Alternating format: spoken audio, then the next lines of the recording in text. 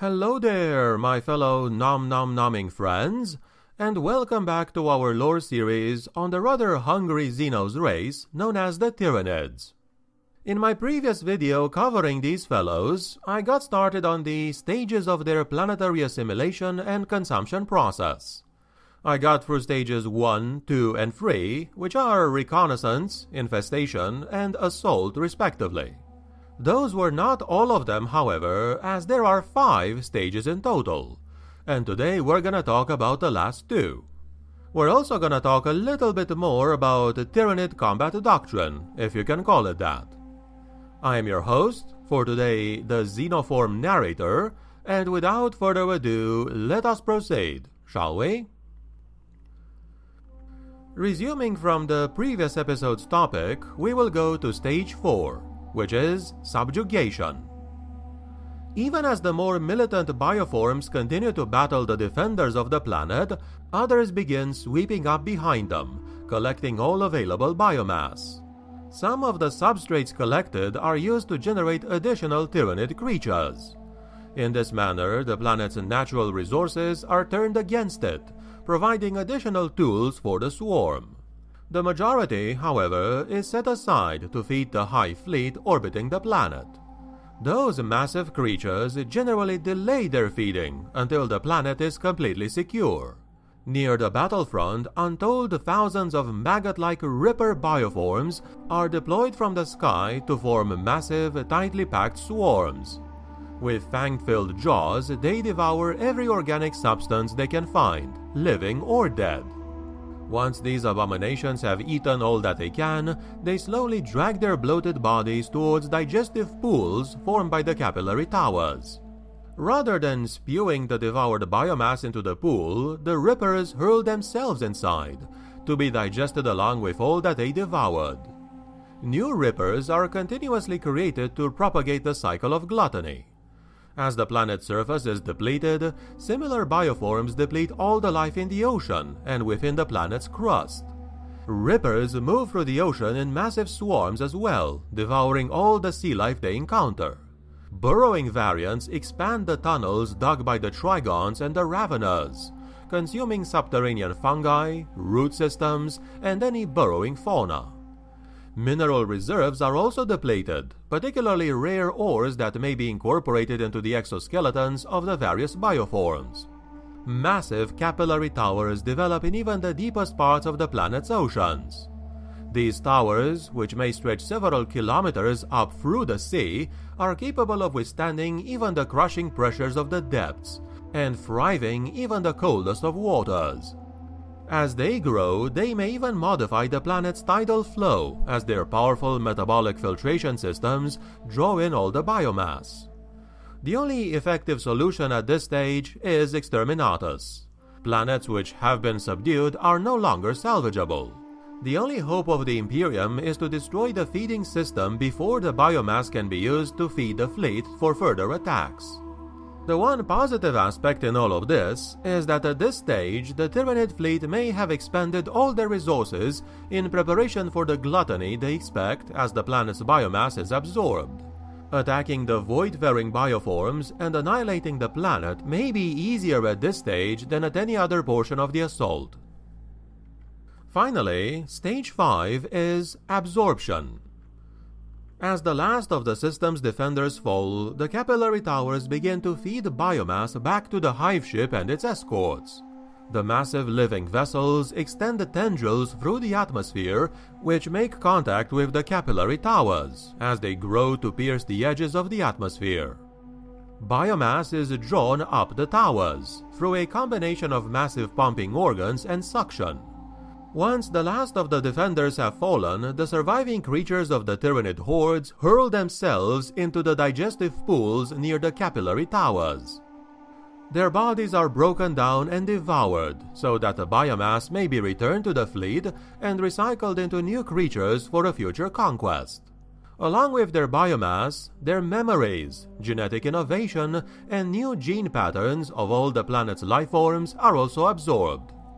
After the last vestiges of life have been absorbed, the capillary towers begin to absorb the planet's water systems. All of these liquids are transferred into the void-faring organisms, some of which may grow dramatically in size as their storage compartments expand to accommodate the newfound resources. As this happens, many of the capillary towers are also broken down so that their biomass may also be absorbed. Finally, the planet's atmosphere, and then the last few remaining capillary towers are absorbed into the hive ships. Some Magi biologists theorize that this may require even more massive void-faring tyranids than those previously identified. Others postulate that the ships use previously unknown biotechnology to compress the atmosphere into a solid state. Though the precise mechanism is unknown to the Imperium, the outcome is certain and there for all to see. Nothing is left behind but a barren, airless rock of little value. As it travels between systems, the hive mind analyzes new genetic patterns it has identified. Some of these may be used to develop new bioforms for a future conquest. However, these new strains may not appear immediately. The hive mind may save them for deployment at a time when a new strategy is required. Clearly, adaptation is a key factor in the Tyranid's long-term success and survival. By stage 5, the battle is well and truly lost. Any defenders who arrive are far too late to save the planet. Their only possible hope is to spread word to neighboring star systems, in the hope that they might arrive before the Tyranid threat. Attacking the void-faring bioforms immediately after they fed on a world is a very bad idea, as that is to attack them at the height of their power. Before moving in and literally eating a planet, the Tyranids often attempt to first conquer it via subterfuge and infiltration. Space hulks and other derelict spacecraft are infested with Genestealers, which quickly familiarize themselves with the layout of their new home and then enter hibernation. When the Hulk is eventually discovered by Imperial authorities, the Genestealers attack the exploration crew, sometimes killing some of the members, but always leaving at least one survivor. This person is implanted with a seed, a form of a Genestealer reproductive virus that contains especially engineered Tyranid DNA. The infestation is never fatal, but instead the virus's genetic material subtly alters the victim's DNA, producing in them a strong urge to mate, created by the stimulation of the individual's sex hormones. The Genestealer DNA will be incorporated into the host germ cells, so that any child that results from the union will be a Genestealer hybrid, which now has the complete loyalty of its parents via the psychic bond. The hybrids continue to breed and multiply among the population of the host race, eventually forming a so-called Genestealer cult. As this cult grows in number, it begins to spread its influence throughout the planet's political and social structure, placing members in positions of power, including the government and the military. At the same time, the cult's hybrid members begin to emit a collective psychic signal through the warp, which acts as a beacon to the approaching Tyranid Hive Fleet. As the Hive Fleet nears the doomed world, the Genestealer cult, potentially numbering in the millions at this point, goes into action, instigating a worldwide rebellion with the goal of weakening the planet's defenders. The Hive Fleet will also seed the planet with Tyranid organisms, which will begin to biologically alter the planet's climate, surface, and ecosystems to make it easier to consume. On the battlefield, Tyranid tactics are based around the notion of sheer numbers, as they generally try to outnumber the enemy by dozens to one. They overrun opposition in close combat, closing faster than many other types of armies. They possess some ranged weapons too, but their sheer numbers and close combat specialization usually makes up for the slaughter they have to endure in order to get to melee range. Tyranid warrior organisms are creatures of visceral horror, implacable monsters with razor-sharp claws which can tear a man apart in the blink of an eye, and grotesque biocannons which fire hungry parasitic projectiles into their prey's flesh. Every weapon and projectile used by the Hive fleets is an actual living organism by itself, grown from the reconstituted biomatter of a previous invasion. The Tyranids have no kind of mechanical technology, and instead harness an advanced form of biotechnology to create organic equivalents of the tools, weapons, and ammunition used by the other races. These creatures live in a highly symbiotic fashion, fusing into each other's flesh, so it is often impossible to say where one Tyranid ends and another begins.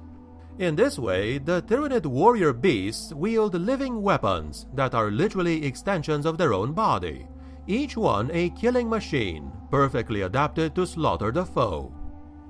The bioconstruct nature of the Tyranids in general makes them a terrible foe to face, for their armies contain a specialized creature for every conceivable facet of warfare, which can be altered and regrown to suit a battle's needs in a short span of time. Thus, a hive fleet can adapt to generate a force capable of overwhelming any opposition, unleashing an army of monsters which can fly, run, burrow, and stalk through the defenses of any foe.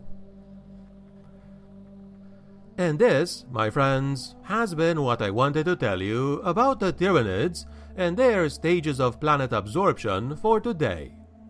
In case you're curious, it is very likely I will move on to covering individual Tyranid units next, alongside with at least one video, I hope, about Tyranid ranged and melee weapons, as symbiotic as they are. Are you a fan of the Tyranids? What do you think about the stages of planetary consumption? Would you stay and fight for your world, or would you submit it to Exterminatus if you could? Feel free to share any thoughts and opinions in the comments below. Was the episode informative or entertaining? In that case, please click the like button and subscribe for future content. Thank you very much for watching to the end, and I wish you all an awesome day. The Emperor protects.